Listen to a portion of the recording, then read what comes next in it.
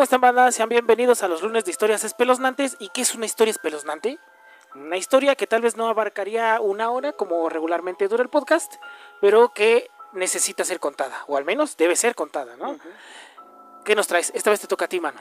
Esta Yo prendí la fogata, a ti te toca el relato. Esta semana te voy a contar acerca del Shen Yu o el Falun Gong. Eh, ¿No son los comerciales fastidiosísimos Sí, sí, sí, estos tal de vez. nuestra H plataforma? Si tal vez muchos de ustedes se han topado con este anuncio. ¿Cuándo fue la última vez que algo tan bello te conmovió hasta las lágrimas? Tan magistral, Bueno, luego de ver toda esta gente bailando, quienes han visto el anuncio completo, porque Mm. normalmente cuando sale, luego, luego lo, lo quitas afortunadamente, es de los videos que YouTube te permite omitir. Sí. Pero quienes han visto el video completo se han dado cuenta que hay testimonios de famosos y políticos sobre su experiencia viendo este espectáculo. Exactamente, yo podría mencionar algunos que pues yo creo que ni en el radar los tendrían muchos, ¿no? Como por ejemplo, la reina de la radio, este... Marta de Boiler. No, Marta de Boiler, no, güey. Este, Maxine Ah, Goodside, Maxine Goodside, sí, sí, sí. ¿no? Es, la Maxine principal Goodside, que sale, entonces, sí. pero fíjate que, bueno, ah, este, yo me quiero adelantar un poquito, o tal vez no sé, eh, el... Algo que me llamó poderosísimamente la atención de estos anuncios que están en toda la ciudad, no solo en esta plataforma, es que enfatizan mucho una frase. Así Espero que me, las, que, que me la quieras, que me, que me la despejes eh, eh, ahorita en este capítulo, pero enfatizan mucho el hecho que dice China antes del comunismo. man. Efectivamente, este chingado comercial está en todas partes Ajá. y ese mensaje es muy, muy claro. Me llama mucho la atención. ¿no? que es un viaje a la China antes del comunismo. Pero para muchos el comercial de menos de dos minutos es un fastidio, pero para el gobierno chino es un motivo de alarma. Aunque Ajá. aquí vamos a entrar, vamos a ver un poco las dos, las dos partes Las dos de este palabras, pero asunto. espérame, espérame, me hiciste que me, que, me, que me llamara mucho la atención este pedo. Dices que este comercial es motivo de alarma para el gobierno chino. Efectivamente, ¿Y cuál es la red social en donde no has visto este comercial? TikTok. Ok, ok. El propio embajador de China aquí en México as- eh, señaló que emitió una advertencia sobre la verdadera intención del espectáculo, que es la difusión de propaganda política y religiosa en favor de esta secta llamada Falun Gong. Ok, están utilizando un espectáculo a manera de adoctrinamiento. Sí, sí, sí, pero Muy priista de su parte. como muy morenista diría yo.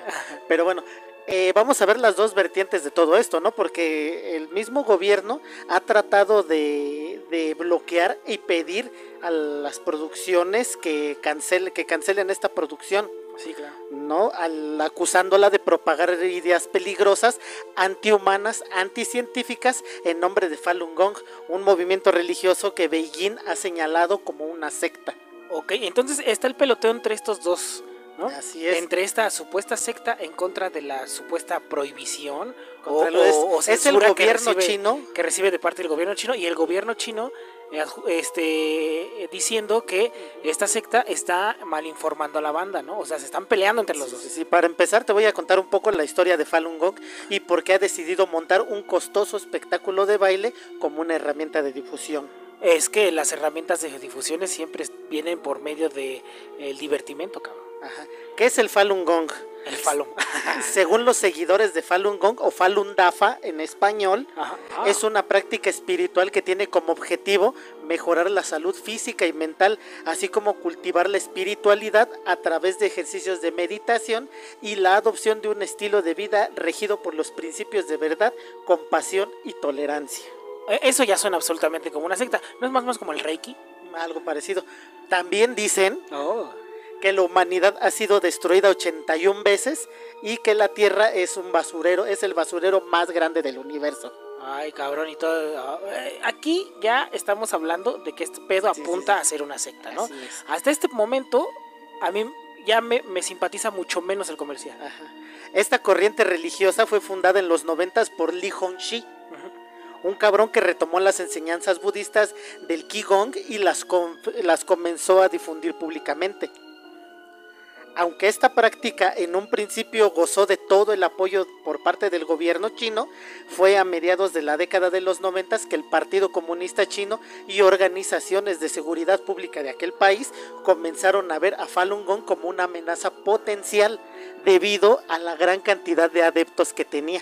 O sea, primero lo apoyan y ya que gana adeptos ya les causa un calambre Así ahí. ¿no? es. Entonces, en 1999, el gobierno estimaba que había 70 millones de personas practicando el Falun Gong, aunque los adeptos decían que eran más de 100 millones de personas. Sí llama poderosamente la atención. Estamos hablando tal vez de la secta más importante en la historia, cabrón.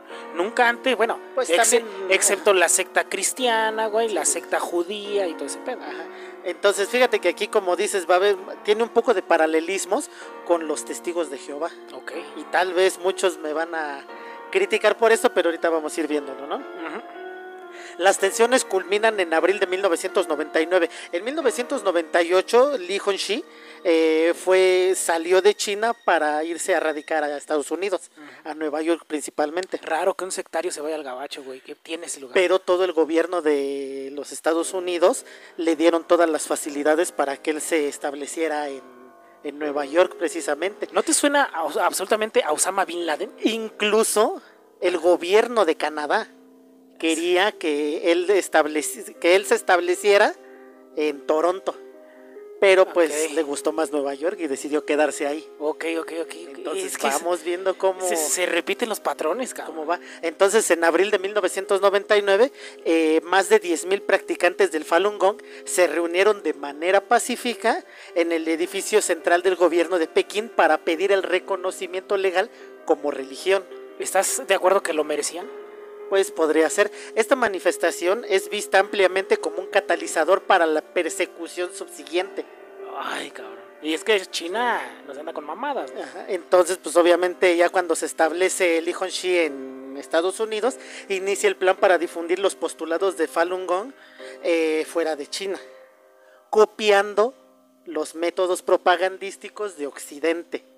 O sea, los testigos de Jehová, ¿no? De- bueno, Entre otras. el, este exiliado chino creó un par de medios de comunicación impresa y uno más de televisión Oh, para, Ya, ya, ya. sé. para expandir su, su mensaje. Sin embargo, no fue suficiente, así que había que intentar de otra manera. Y es en 2006 cuando Li Hongxi y un grupo de practicantes del Falun Gong en Estados Unidos inauguran el Shane Yu Performing Arts Una compañía artística que introduciría los intereses y preocupaciones del grupo religioso a través de un espectáculo de baile. Y si lo unamos al hecho de que estaba en el gabacho y el- la institución contra la que estaba peleando este cabrón de la secta era una institución comunista y el, el principal enemigo del, de- del gabacho es el comunismo, híjole. Y aquí viene algo muy curioso. El Shen Yu se presenta como algo tradicional chino. Ah, oh, sí, es- sí, Sin embargo, eh, varios estudios han revelado que todas las danzas y todo lo que presentan es creado a partir de versiones chinas de, creadas en los Estados Unidos en los años 50. O sea, es una gabachada, ¿no? Es, Eh, prácticamente eh, es- eh, prácticamente todo el espectáculo es el, el sushi con, con queso crema es el que California. Roll. Ajá, sí, ¿no? Sí, pues básicamente es el California Roll. Ajá. O sea, es una un creación Bell. norteamericana eh, de, creada en los 50 que te platica la historia de China. Ok, eh, algo así como el ballet de Amalia Hernández. Pues, Te bailaste, güey. Esa vieja no tiene nada que ver con muchas cosas. Entonces, para el invierno de ese mismo año, la, esta organización sin fines de lucro ya había contratado a casi un centenar de artistas, entre bailarines, músicos, equipo de producción, y todos ellos se encargaron de montar el primer show donde nos mostraban, según, según ellos, la cultura china en su máxima expresión Antes del comunismo. antes del comunismo. Pero estamos de acuerdo que todo esto viene de algo creado en Estados Unidos en los 50. Como si el imperialismo hubiera estado mejor, ¿no? Sí, sí, sí. Entonces, para atraer a la gente, los miembros del Falun Gong iniciaron una feroz campaña con anuncios espectaculares, anuncios en transporte público, en las revistas, en periódicos y pues claro, en esta H plataforma. Ok. Oye, no Posiblemente después de esto vamos a tener los comerciales aquí. Ajá, en- porque yo, yo luego los pongo y me aparece este pinche comercial en específico. Y paga muy poco, pinches miserables. Ay, Y como también, y pues como mencioné hace rato, pues suelen invitar a famosos políticos y empresarios para que recomienden la experiencia. ¿Y sabes qué, güey? Yo estoy convencido de que ni siquiera la han visto, güey. Yo creo que los entrevistan antes de entrar, ¿no? no sé. Es que fíjate, aquí ya Porque que- eh, dentro ajá. del comercial sale Maxine Woodside Sí. y se ve que todavía no es de noche. Ajá. No, y- deja de eso, puede haber lámparas y lo que quieras, pero este de repente te das una vuelta por las plataformas, ¿no? Este o por o por ciertos artistas o por ciertos eh, güeyes que hacen cagadillas, ¿no? Y que los hacen famosos y que llegan llegan a estar este como que cierto punto relevante. Y una constante que, que he escuchado con respecto a muchos, porque veo demasiados, ¿no? Que, que ya sabes, nunca falta el extranjero que viene a México y se enamora de México y hace mamadas y de repente lo invitan a eventos, ¿no? Este, eh, algo, una constante que me he dado cuenta es que es muy común que inviten a influencers a ciertos eventos, pero solamente a la alfombra roja. ¿Qué me refiero a esto? A que muchos de ellos no tienen el boleto de entrada al evento, solo a la alfombra. Entonces los invitan a que se den una vuelta, a que le saquen fotos, a que el evento esté lleno de influencers y a muchos de ellos, la mitad o incluso más, eh, les dicen, bueno, pues ya, muchas gracias, váyase para su casa porque no tienes este boleto para, para el evento, ¿no? Muy, Entonces- muy común en los Spotify Awards. Ajá, Síganos en Spotify como el podcast perdido. sí, este, no paguen premium. Eh, este, eh, ¿cómo- o sea, ¿cómo te digo, güey? Si esto se da en este tipo de, de güeyes que, pues, la neta nada más hacen su luchilla o son cagadillos y todo ese pedo, ahí, ¿no? Que no se pueda hacer que una agencia de una secta tan poderosa como esta les diga, oye, te voy a dar tanto varo para que te pares ahí, digas que está bien chida tu obra y después te vayas a, si quieres a los tacos, ¿no? Es un hecho que se podría dar y hay que ser sinceros, güey.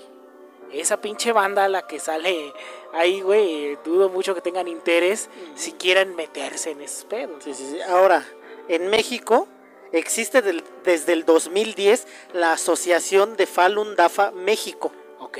y tiene centros de enseñanza de sus prácticas en la. Ciudad de México, En, en- sí. Yucatán, Nuevo León, Quintana Roo, Sinaloa, Querétaro, Oaxaca, Morelos, Michoacán, Tlaxcala, Guanajuato, Puebla y Baja California. Sí, claro, bueno, son, son, son lugares en donde también la comunidad china está muy presente, güey. Pero aquí en la Ciudad de México, eh, no hace mucho terminaron un edificio chino por el Monumento a la Revolución. Me parece que es de esos güeyes. Podría ser, no, no, no sé exactamente cuál dices, pero A, a un lado del que... Es que antes por ahí había un Pozzolcali o algo así por Monumento a la Revolución. ahí sí te fallo, te fallo. Sí, bueno, enfrente de un hotel que se llama... ah, Bueno, entonces debido a la persecución del embajador chino en México, la secta Ajá, envió una carta que fue publicada por el periódico El Universal, donde denuncia esta campaña de difamación contra ellos, Ajá. explicando que Shengyu es una compañía de danza y música clásica fundada en Nueva York, en los Estados Unidos. Pero fíjate, güey. Y fíjate lo que dice Ajá, textualmente la carta. Desde la creación de la compañía en 2006, el Partido Comunista Chino ha intentado a través de sus embajadas ejercer presión hacia los teatros para cancelar las presentaciones y ha publicado mentiras en sus redes sociales para desanimar al público a asistir a las funciones de Shengyu. Ok. Parte del conflicto del gobierno chino contra Falun Gong se dio a conocer en el informe Kilgur Matas Ajá. o mejor conocido como el informe cosecha sangrienta. Y es aquí donde empieza eh, es- eh, esta, o sea, ¿a quién, le hace- ¿a quién le haces caso? ¿A quién apoyas? ¿Contra quién te vas? Ah, ya, ya, aquí es donde empieza como que lo más turbio porque ahorita me acabas de explicar que esta es una secta y como secta pues también no puedes estar tan de acuerdo en un, en un movimiento de este tipo, ¿no? Sí, que sí. trata hasta cierto punto de adoctrinar, ¿no? Pero por otro lado, pues el gobierno chino no es inocente de nada, güey. El gobierno chino se, en- se encarga de en su propio país censurar las redes sociales y decir qué puedes ver y qué no Ah, puedes ver. Entonces, es, e- es una dualidad muy cabrona, güey. O, o, o- es que no puedes estar de, de un lado o del otro, güey. No puedes estar del lado de una secta, pero tampoco puedes estar del lado del gobierno. Y aquí, y aquí vamos, y aquí vamos a entrar en un conflicto bien cabrón. A ver, a ver, porque ya me intrigó, Porque, por ejemplo, en este conflicto, Ajá. Este, este, este informe, la cosecha sangrienta, o el informe Kilgur Matas, fue publicado en 2006 y actualizado en el 2009, donde el diputado canadiense David Kilgour y el abogado de derechos humanos David Matas investigaron las denuncias de sustracción de órganos a miembros del Falun Gong en China como parte de la persecución del régimen contra el grupo religioso. Puta, es que también los chinos se pasan bien de longaniza. Entonces ya estamos hablando Bueno, ¿no? de cosas más serias, Ajá. pero no son cosas que está haciendo la secta, sino cosas que le están Haciendo, a la haciendo a secta. la secta o miembros de la secta. Es que algo más algo más peligroso que una secta es un gobierno este, Autoritario. autoritario como el chino, güey, que nos vende que no es autoritario. Es. Entonces, si bien el informe realmente no presenta testigos presenciales de los hechos, utiliza los testimonios de familiares del, del Falun Gong que murieron en detención de autoridades chinas. Puta madre. Los familiares de los adeptos del Falun Gong que murieron bajo custodia del gobierno chino informaron que, sus, que los cuerpos de sus seres queridos fueron entregados con incisiones quirúrgicas o con partes del cuerpo faltantes. Mames, está, está cabrón. El mismo, el mismo informe dice que las marcas son consistentes con la sustracción de órganos. Sin embargo, no existe una explicación por parte de las autoridades chinas al respecto. Ay, bueno, le preguntas a... Y no, y no va a haber, obviamente. Ajá, es casi tan... eh, eh, eh, o sea, son, son casi tan cerrados como el gobierno israelí al momento de a- a este, a hacer declaraciones con respecto a los violadores que tiene resguardados en su, en su pinche país, ¿no? Entonces, un informe de Amnistía Internacional señala que el gobierno chino tiene tres estrategias para aplastar al Falun Gong. Número uno, ejercer violencia contra los practicantes que se rehusan a renunciar a sus creencias. Ok. Número 2. Lavado de cerebro para forzar a todos los practicantes conocidos a abandonar el Falun Gong y renunciar a este. Puta, está muy facho, güey. Y número 3. La más efectiva de todas, volcar la opinión pública contra Shen Yu. Contra el espectáculo Shen Yu. Según un informe de Freedom House, una organización no gubernamental con sede en Washington, eh, y que lleva investigaciones y promociona la democracia, la libertad política y los derechos humanos. Dice que en la actualidad los ciudadanos chinos que practican el Falun Gong viven bajo la amenaza constante de secuestro, tortura y desaparición por parte del gobierno chino. Ah, Entonces aquí es como te digo, ya empiezas a entrar un poco en conflicto porque dices, el gobierno chino está tratando de aplastar esta secta por la cantidad de miembros que tiene. Ajá. Se puede volver un peligro para ellos. Pero en una entrevista para la revista Time, Ajá. Li Hongxi, El líder de la secta. el líder de la secta, ha declarado que cree que los alienígenas trajeron la tecnología moderna a la humanidad y que su objetivo era reemplazar a los seres humanos con clones. Ajá. Además, ha expresado abiertamente que cree que la evolución es un fraude, que las personas de diferentes razas estarán separadas en el cielo y que la homosexualidad y la promiscuidad son antinaturales. Oh. ¿De qué lado estás, cabrón? Entonces es lo que te digo. Ajá. Entonces, como secta, a final de cuentas, Eh, Está muy jodida. está muy jodida por todas este tipo de creencias. Ah, bueno, y está, está dividiendo a las personas en el cielo, güey. O sea, ese güey también es un facho, cabrón. Está dividiendo a las personas, te está diciendo que la homosexualidad es antinatural. Es antiderechos ese cabrón también, güey. Entonces, todo Es ese- xenófobo y antiderechos. Y se está peleando con un gobierno. Xenofobia Xenofobia y antide- antiderechos, o sea, güey. ya después te voy a platicar acerca de, de todo lo ocurrido en la, en la ¿cómo, se, cómo se llama?